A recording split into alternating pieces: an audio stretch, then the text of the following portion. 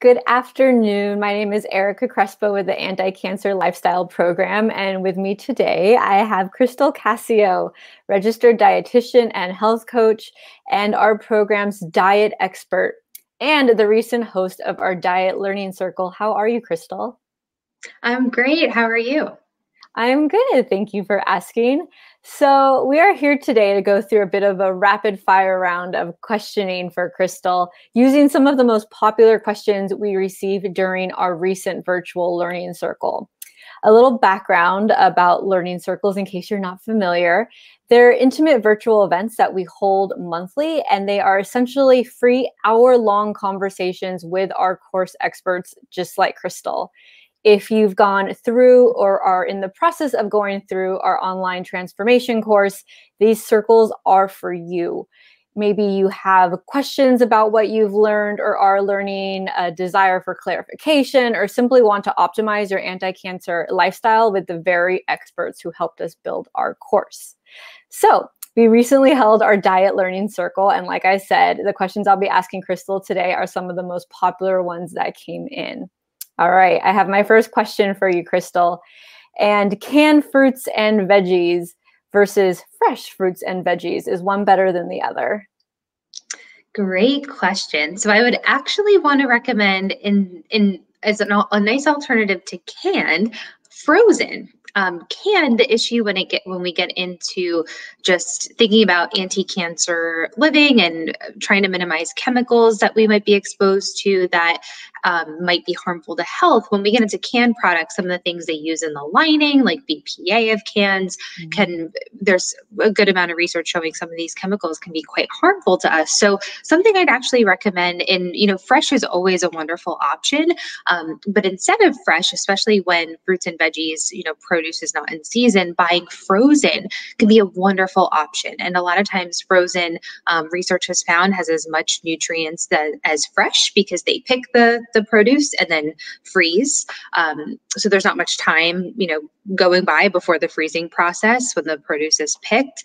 So I would actually recommend considering frozen versus canned, um, just to limit your exposure to some of the chemicals that might be in the can. And you know, in canned uh, produce, a lot of times, like for canned fruit, they're adding a lot of sugar. So being mindful of that. Whereas frozen fruit, there's no sugar added, and when we get into canned vegetables, a lot of times food companies add a ton of sodium, whereas in most frozen vegetables, you're not going to have added added sodium. I think sometimes in peas, like frozen peas, you might find added sodium or salt, um, but overall in canned, you're going to get more risk for like canned fruits, the sugar they're adding. So be being mindful of that and the salt in canned uh, vegetables.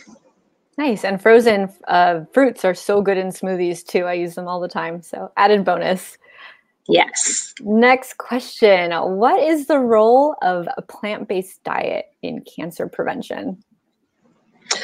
So it actually is recommended for for cancer prevention. So when we look at nutrition guidelines for cancer prevention, the focus should, should be primarily on a plant-based diet. This is what the research supports. So what does that mean? You know, fruits, vegetables, whole grains, nuts and seeds, legumes, which includes beans, peas, lentils. Um, so really going for more whole, minimally processed or you know just um, whole foods plant-based foods these should be the emphasis when we're looking at an anti-cancer diet for cancer mm. prevention so it's it's and that's pretty much, you know, when I look at the question, what is the role of plant based diet in cancer prevention? Um, that is the recommendation when it comes to nutrition for cancer prevention. So definitely more plants, less animals is recommended. So, when we're talking about plants and we're talking about eating organic fruits and veggies, what if someone can't purchase an organic option? Is it better to just avoid it? Great question. I hear this a lot, and I always like to clear this up because at the end of the day, eating more fruits and vegetables is better than not eating them. So do not not eat something because it's not organic. So still get your produce in, your plants in, fruits and veggies. However, there's definitely um, resources that could be really helpful for purchasing organic on a budget. I know the anti-cancer lifestyle program and the diet module has a ton of tips on this. Um, just briefly, the environmental working group's Dirty Dozen that they publish each uh, each year, going over the you know dozen produce items items that you might want to consider purchasing organic mm. since there have been found to be pesticides, um, a significant amount of pesticides on those produce items compared to the Clean 15, which they also publish, which are produce items that um, you know have lower risk for pesticide exposure. So, in summary, still eat your fruits and vegetables if they're not organic, but if you can, finding ways to um, you know, purchase organic on a budget, and the anti-cancer lifestyle program has just a ton of tips on that in the diet module. So we talked about um, how a plant-based diet could help with cancer prevention, but are there specific foods that you would say are anti-cancer foods? Ooh, yes. Um, I would say most plant-based foods, like what first comes to mind is fruits and vegetables, nuts and seeds, whole grains, legumes, what I mentioned earlier. Um, however, I would say uh, specifically when we get into our um, green orange, yellow, uh, red produce items. We're getting something called carotenoids in in those produce items when you're seeing that color, like a red bell pepper or mm-hmm. green kale, or um, you know all of these like tomatoes, the red color, these these certain colors. That's a clue that you're getting carotenoids, which are anti-cancer compounds um, and really beneficial for our our health and well-being. Also, alliums. I want to just kind mm. of highlight. So that includes uh, garlic, especially fresh garlic, which has allicin, which is an anti-cancer compound, leeks, onions, shallots. So any plant in the allium family is absolutely going to be an anti-cancer food. Also, what comes to mind is cruciferous vegetables. Um, I always love saying that word. I don't know why cruciferous vegetables, but that's like your broccoli, cauliflower, Brussels sprouts, cabbage, kale radishes. Um, I feel like there's there's definitely more cruciferous vegetables, but those are some of the main ones. And the cruciferous vegetables have anti-cancer compounds um, called glucosinolates, which are really beneficial for health and well-being. They're anti-inflammatory. Again, they have anti-cancer properties. So I would definitely recommend those, like the cruciferous vegetable category, as um, just kind of just giving it a little extra highlight as anti-cancer uh, anti-cancer foods. Um, I would say two herbs and spices, especially ginger and turmeric, given their anti-inflammatory mm-hmm. effects and as a result, anti-cancer properties. And it's all that comes to mind right now. But I would say most whole plant foods are going to have um, nutrients that are really helpful for um, minimizing our risk for cancer. Cruciferous, did I say it right? Yeah, Yes. Let's all say it together. Cruciferous. Cruciferous. Love it. All right. What about sugar? What role does sugar play in inflammation? So when we look at studies that show you know which foods have been associated with increased levels of inflammation in the body and foods that have been associated with decreased levels of inflammation in the body a diet that's high in sugar and when I say sugar, I'm not talking about the sugar that's found naturally in fruit, right? Like fruit sugar, fructose. I'm talking about the sugar that's in processed foods, so sugary beverages, cookies, mm-hmm. cakes, pastries, sweets, etc., um, sugary cereals. So these more processed foods, that sugar consumption of, of um, you know a diet high in sugar you know especially from these processed foods has been associated with increased levels of, of inflammation in the body. Now why is that? Without spending too much time getting into hormones and metabolism um, you know it could cause blood sugar spikes which can increase insulin insulin like growth factor which those play a role in inflammation um, mm-hmm. some of these hormones and and you know blood sugar regulation plays a role in inflammation. So we want to maintain blood sugar within a healthy range. Spikes in blood mm-hmm. sugar can increase inflammation. So um, hopefully that answers that question. So we hear a lot about chicken and fish and that they're good for us, but how much should we be eating? So, yeah, that's a really good question. When it comes to chicken and fish, at least at least when considering cancer prevention nutrition mm-hmm. guidelines, there's no exact amount that everyone should be eating. Like there's no number I could say.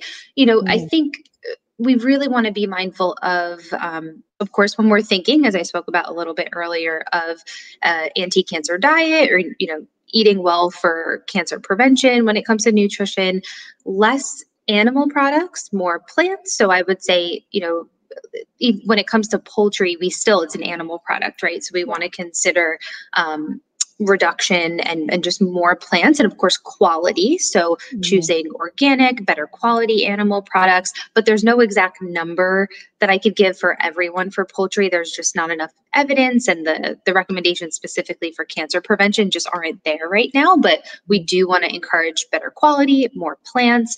And when it comes to fish um, you know i've i've heard general recommendations of you know two times a week of fatty fish. And again when it comes for to cancer specifically there's no exact recommendation that i could give. So i, I want to be clear about that. But i do want to be clear that um, being mindful if you are having fish i think this is really important. Mm-hmm. we want to choose low mercury fish and fish that has not been contaminated with heavy metals. So generally speaking, you know, cold water fish, fatty fish to get those omega 3s, um, anti inflammatory fats in there.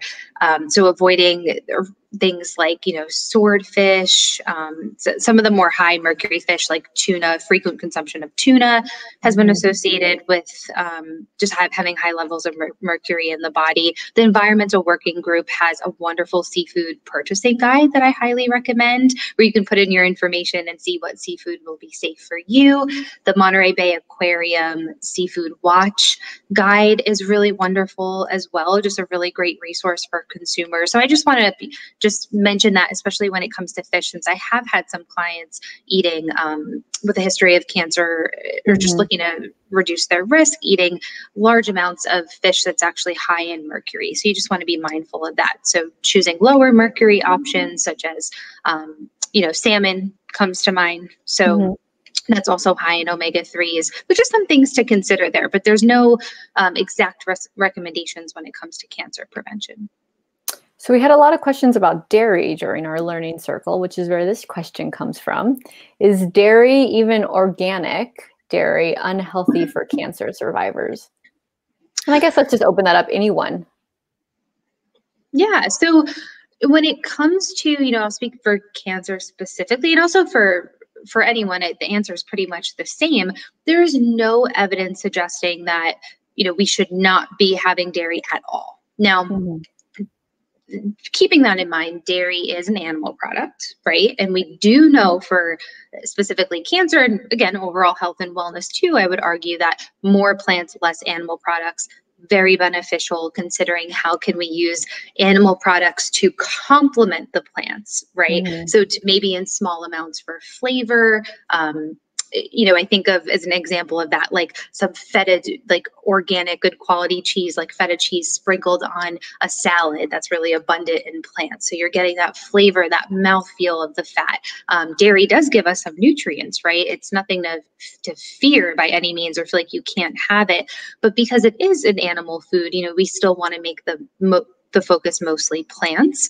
Um, mm-hmm. And then, of course, quality, just like with the poultry, right? We talked about, you know, organic, better quality. We still want to keep that in mind when it comes to dairy. So, consuming dairy that's not coming from animals treated with growth promoters, hormones, or just raised in not very healthy ways because that's reflected in the meat and the milk. Um, so, mm-hmm. yeah, in general, I would say when it comes to dairy, there's no exact recommendations. You by no means have to avoid it. And I think dairy is very individualized. Like a lot of times, mm-hmm. I when I'm working one on one with someone is where we can really get a sense is is dairy serving them um, you know, a lot of people don't tolerate dairy well, digestive wise. So if I'm working with someone who has um, digestive issues, reflux, gas, bloating, etc., mm-hmm. um, d- dairy for some people may not be the best for them. So I think it's just about listening to your body, learning what works best for you, and then still making the focus mostly plants and better quality dairy for sure.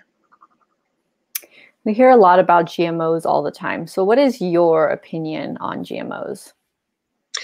Sure. So when it comes to GMOs or genetically modified organisms, essentially the at least when I'm thinking about these foods, what I'm concerned is the chemicals that are sprayed on these foods. Because a mm-hmm. lot of GMO foods, such as corn and soybeans, are being genetically en- engineered to be resistant to harmful chemicals such as glyphosate and an herbicide. And that has been the World Health organization has found it to be a probable carcinogen. So when it comes to GMO foods, I do recommend choosing um, non-GMO foods and organic foods. Actually, are naturally non-GMO. You know, mm-hmm. the GMOs can't be in organic foods, so it's something I I do recommend mostly because of the chemicals that are being sprayed on these foods that have mm-hmm. been shown to have a lot of um, concerns and potential negative health effects. So going back to, to fish for a second, is there a best type of fish to eat that you know of? You know, I think the cold water, wild caught, generally speaking, right? I'm not, mm-hmm. I think we still have to consider sustainability, um, fish that are overfished, and that's where the Monterey Bay Aquarium Guide is really helpful. Um, mm-hmm. But generally speaking, you know, wild caught, cold water fish, the fatty fish like salmon, mackerel, halibut, sardines, anchovies. I'm sure there's more off the top of my head I'm not thinking of. Um, but your cold water fatty fish, um, wild caught, preferable to farm raise. Um, and yeah, so I would say I would say get some variety with your fish too. I feel like a lot of people eat fish and they just have salmon. They're like, right. I'm eating two times a week. I'm just going to go with wild caught salmon. And wild caught salmon's wonderful, but you could, you know, there's plenty of other fish out there that are um, low in mercury, high in protein, healthy fats like omega 3s and nutrients mm. such as zinc, iodine. So um, I do encourage, you know, a variety of fish. And I would say just, again, being mindful of those high, high mercury fish we, we really want to avoid or limit. So, my last question for you today has to do with gut health, Crystal. What are your thoughts on probiotic supplements but versus probiotic rich foods? Oh, I love this is like one of my favorite topics. I love gut health. So, when it comes to probiotic supplements versus foods, I think I think there could be, and this is where I I when it comes to supplements, working one on one with someone, like mm-hmm. generally speaking, without knowing your medical history, your what medications you're on, what digestive what your digestive health is like currently, mm-hmm. it would be so hard to know what kind of probiotic to recommend. Like sometimes probiotic supplements can be helpful for certain conditions. The strain matters, you know, depending on what you're trying to, to have a probiotic for. So it's not, you know, sometimes I have also seen that someone will just start a probiotic supplement and it mm-hmm. exacerbated their digestive symptoms, which could happen. So, mm-hmm. for example, a lot of my patients who experience bloating and irritable bowel syndrome, um, start probiotics and it like adds more fuel to the fire it actually mm. makes things worse for them so that i would say when it comes to probiotic supplements i'm not saying there's not a time or a place for them or that they they may you know that they can't be beneficial they they very well might play a role in um, just supporting your gut health but definitely work one-on-one with someone for that to get a personalized recommendation um, you know with your health someone as a member of your, your healthcare team um, a registered dietitian can help you with this and something mm-hmm. i also want to say about the probiotic supplements is that you know i think we touch on this a little bit in the learning circle but um, just really reinforce this that the supplements aren't regulated so right. I've had some people taking supplements, you know, whether it's protein powders or probiotic supplements or multivitamins, and lo and behold, from the databases, the professional databases I use to to check have these supplements been tested mm-hmm. independently mm-hmm. to see if they're safe. I've had a number of people taking supplements that they thought were healthy and then the supplement was found to be contaminated with heavy metals or just have excessive doses of things that you don't want. So, because they're not regulated, I do recommend before taking anything, like really meet with someone and go through okay, what brands are considered mm-hmm. safe? What brands have been tested? What condition or digestive symptom am I trying to treat with a probiotic? Because what I would mm-hmm. recommend for diarrhea is going to be um, much different than what I would recommend for constipation or you know reflux or whatever it might be based on the research right. with specific strains of, of probiotics. Um, so that being said, when it comes to probiotic rich foods, there's a I, I am usually encouraging, especially if you have not spoken with someone about starting supplements yet. Mm-hmm. I always say like food first, like incorporating more probiotic rich foods. And what's kind of amazing, it just I think it just goes to show the power of of food and plants is that you can get more probiotics in a tablespoon of something like sauerkraut than you can in many of these probiotic supplements. So wow. a, a little bit goes a long way. Um, that includes foods like sauerkraut, kimchi, using in cooking, tempeh, uh, fermented soybeans actually is a source of probiotics, kefir, yogurt if you tolerate dairy, and there's also non-dairy versions of these if you don't tolerate dairy very well. So I'm a big proponent of a food first approach with this. And mm. again, not to just say there's no time and place for a, a supportive probiotic supplement, but that really has to be individualized. I appreciate hearing that a food first approach. That's a, a good way to think of this. Well, thank you, Crystal, for your time today. Everyone, we have our next learning circle coming up on April 6th. It will be focused on our mindset module, and we hope to see you there. Crystal, thank you so much for joining me today, and I hope you have a great evening. Thank you for having me.